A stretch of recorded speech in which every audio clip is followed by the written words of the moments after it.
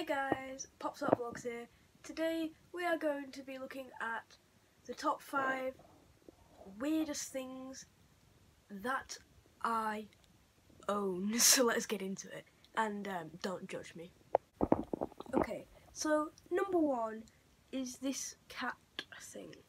And it feels like it has a real spine in it. I got it in Malta, I believe. Pretty cute though. And it defies gravity.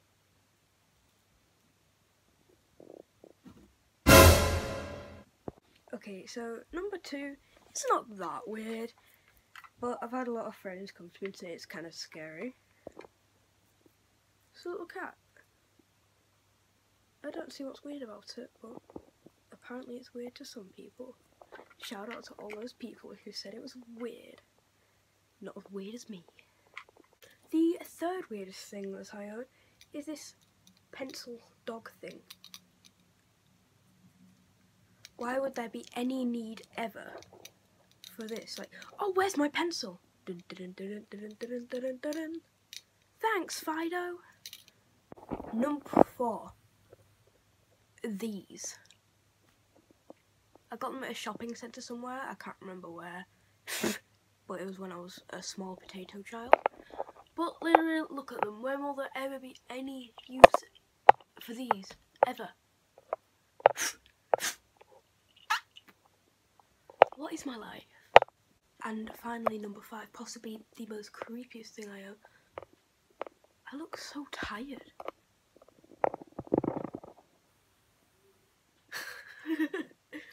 I am tired, but it is a dead bat. Yes, you heard me right.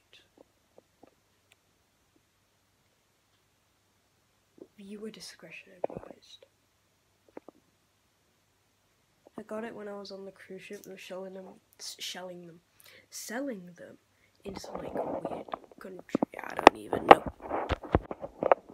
Thanks for watching this video. If you did have enjoyed it, please like, comment, subscribe. Tell me what you want to see down below, and I will see you all later.